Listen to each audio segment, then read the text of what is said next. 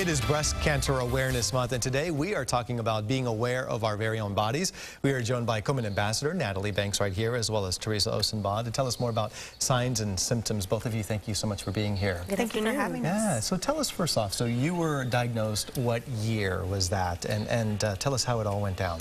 Um, it was 2008, and I usually have a mammogram in July. So I had a mammogram in July. The results came back with no uh, detection of any kind of cancer or any lumps or anything. And then I was reading a fitness magazine in October of 2008, and it was the, the because it was Breast Cancer Awareness Month. Mm -hmm. The focus was on being aware of your body and being ah. aware of uh, breast cancer. So it reminded me that I needed to do my normal self self breast exam, and I did the self exam and I found a lump. Okay. And so I thought because I knew my body and I yeah. knew that was out of place, yeah. I immediately called my physician and had um, had some tests run and then she did a biopsy and it came back that it was positive and it was cancer. Wow. And you had just received an exam. Exactly, in July. In July.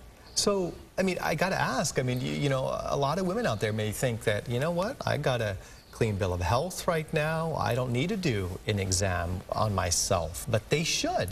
Right, so mammography is the best screening tool we have today. It catches about 80 to 90% of breast cancers out there, um, but sometimes it doesn't. It's not perfect, and so we always encourage women to know what's normal for them, and also know that breast cancer is not just a lump like Natalie found. Breast cancer can um, present itself in many different ways, and we have um, eight signs and symptoms really that we encourage people to look for, and some of those include change in size and shape of the breast, sure. swelling, redness, pain that doesn't go away, that's a new pain in one spot, um, any discharge. Those are things you should definitely talk to your doctor about right away. You said you know your body. Why did you know, despite a clean bill of health, know that this was different? This lump was not something that I should take lightly.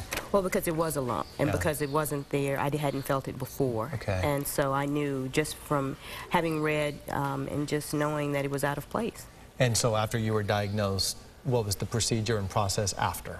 Well, after that, uh, my uh, OBGYN uh, had gave me a reference um, a breast surgeon, mm -hmm. a plastic surgeon, and so I met with them and got their prognosis, and then they uh, gave me options. Um, and because of the size and the placement of the lump, my the best option for me was a mastectomy. Okay. And so then I did my own research just to confirm. And then I have a cousin that is a physician as well. And mm -hmm. so, mm-hmm. I, you know, doing my own research, and you know, the in yeah. internet has lots of information. it does, yeah. So I did my own research, and then I talked with a cousin, and I talked with my husband, and you know, family members, and then we just decided that uh, the, the mastectomy was the best yeah. option for me. And that's the way, and that's how she's an ambassador. You're a breast cancer survivor. Thank you for sharing your incredible story. You know, for many people out there at home, they may just be thinking, wow, you know, and you said it was Breast Cancer Awareness Month and those things, and they're printed and they're advertisements and promotions and just getting the word out there. So it just shows you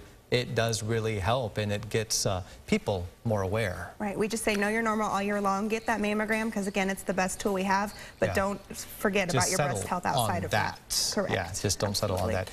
Natalie, thanks again. Thank you for having me. We appreciate that. And we do appreciate you, Teresa, as well. And uh, once again, know your signs and symptoms, know your body. All that's very important. We'll be right back, everyone. Stay tuned.